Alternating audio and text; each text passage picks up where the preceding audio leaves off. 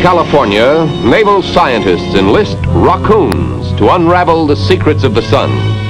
The rockoon is a helium-filled plastic balloon some 70 feet in height, supporting a 12-foot rocket loaded with a television transmitter.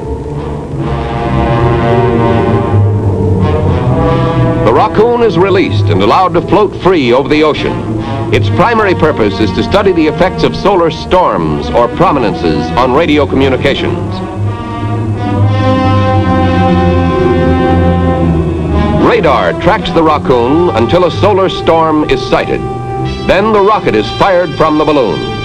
Within two minutes, it is 70 miles high, flashing back television pictures of the upheavals on the sun. Amazing pictures such as these, showing the violent motion of the tremendous solar explosions.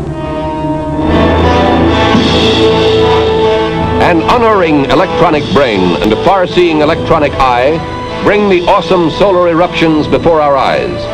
For science, new progress in probing the mystery of the sun and its influence on the world around us.